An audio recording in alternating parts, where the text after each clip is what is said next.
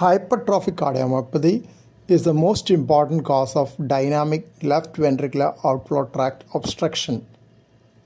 In transposition of great arteries with intact interventricular septum, LVOT obstruction due to systolic anterior motion of mitral valve is possible.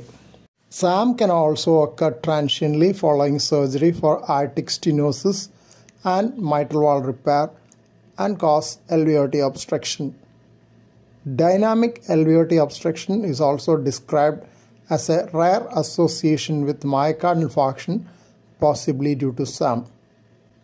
Dobutamine can worsen the LVOT obstruction in this situation. Yang and colleagues reported a case of severe LVOT obstruction after treatment with catecholamine. Hypovolemia accompanied by catecholamine treatment may cause LVOT obstruction due to systolic anterior movement of mitral valve. Prompt recognition with correction of hypovolemia and withdrawal of catecholamine therapy is the solution to this problem. Similar to catecholamine therapy, pheochromocytoma is a rare reversible cause of dynamic LVOT obstruction.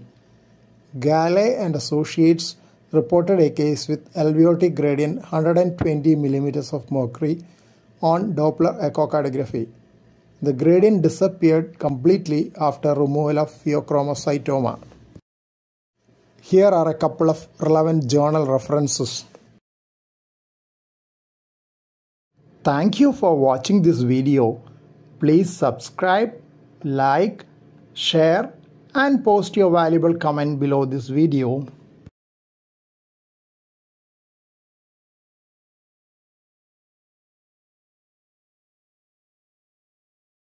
Kindly press the bell icon after that for getting all updates.